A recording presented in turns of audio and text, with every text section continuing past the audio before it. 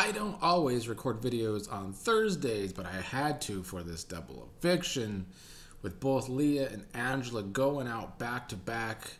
I personally love it. I know Twitter's up in flames, but that's usually why I like it.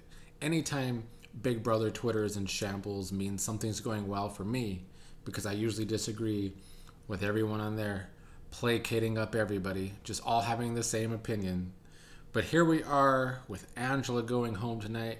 This video for Nikki in the comments, haven't seen you in a couple weeks, but back when Quinn was a- evicted, I was celebrating and she celebrated with me because I wanted Quinn out so bad. She's been wanting Angela out for what seems like over a month now. Finally, Angela was evicted, the first unanimous vote of the season as well. Good stuff. Very good stuff. Look, Angela had her moments. She was very entertaining the first month of the season. After that, though, she started grating on me. It was kind of the same shtick over and over. Truly, the the moment that I was over her was the whole her eating the Lay's potato chips in the episode, which was gimmick infringement on Taylor. And as a pro wrestling fan, hate gimmick infringement. Also, the comparison doesn't make any sense because Taylor was just being hated on from the very beginning of that season, whereas Angela was HOH the first week and put herself in this position for weeks and weeks and weeks with her own terrible social game. So that whole comparison in the first place was dumb. Chelsie winning the double HOH, I think she needed to win it. Um, Angela could have won it. Angela losing it on uh, the Price is Right, don't go over thing is kind of chef's kiss to me because she's been on the Price is Right. CBS loves them some Angela. Angela losing in a Price is Right style tiebreaker makes sense to me.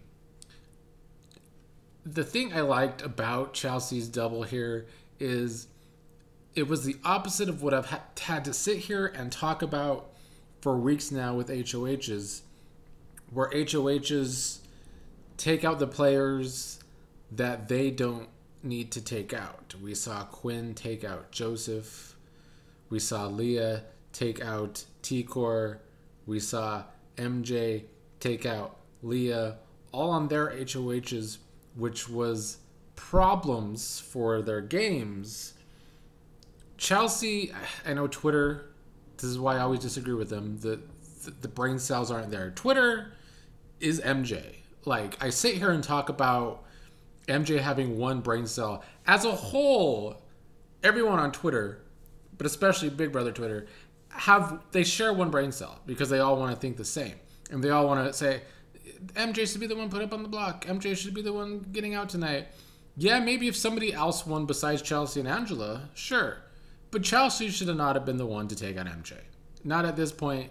Doesn't make sense. Maybe MJ will try and take out Chelsie, although the way I, I don't see that happening.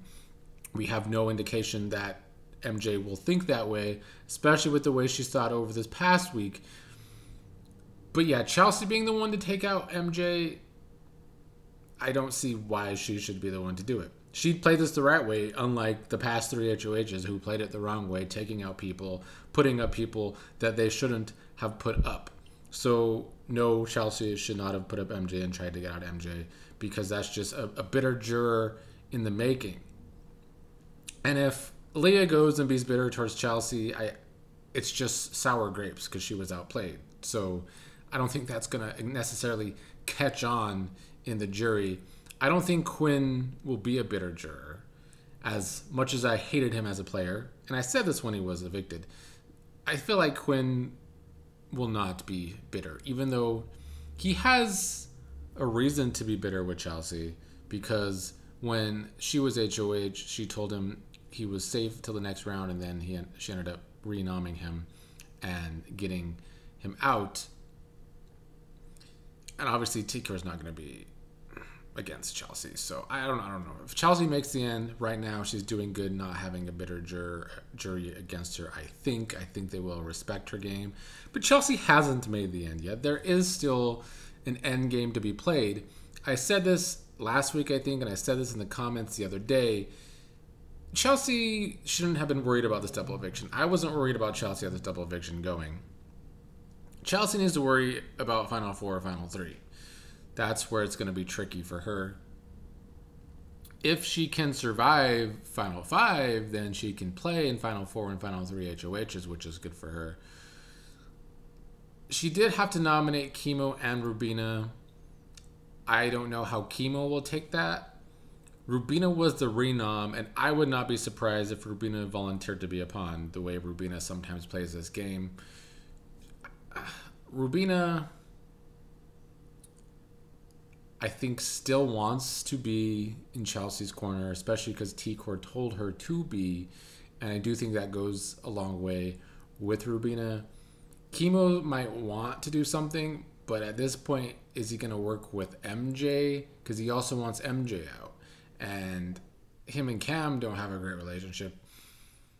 So I, I think Chelsie could be safe this week at Final Five, even though she can't play HOH, because I still don't know if there's going to be targets on her back. We're late in the game, though, and maybe Kimo and Rubina will think that way, but will they even be the HOH? Will Cam even be the HOH? Kimo does good at vetoes every once in a while, clearly.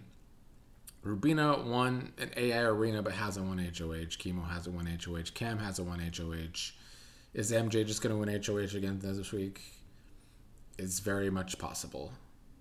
So we'll, we'll have to wait and see on that if Kimo, Rubina, and Cam can step up their, their HOH play, or will MJ just be HOH again and then we have to deal with her one brain cell again, which was giving me a headache the past couple days, so I kind of hope that isn't the case.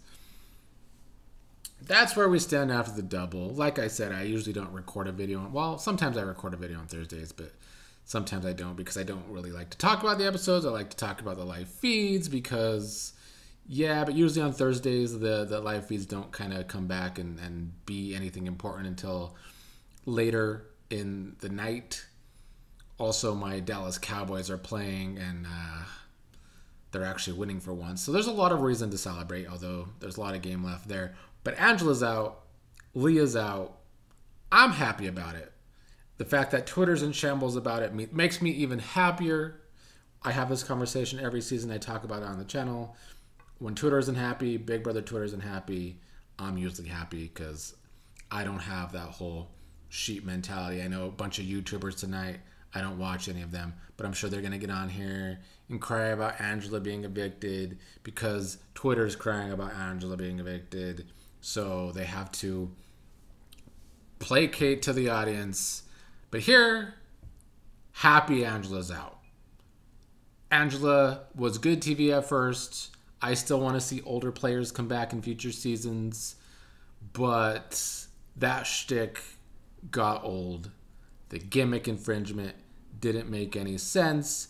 And most importantly, the real big reason I wanted her gone sooner rather than later was because Grodner and Meehan, who I hate, loved her too much for my liking. She was production pet. She was the only player with a consistent edit all season. Not necessarily a good edit, but at least it was consistent. Most players' edits this season have been all over the place. Hers was consistent, and I do think that's because production loved her too much. Um, that's it. Happy Leah's gone. Happy Angela's gone. We'll see who the new HOH will be.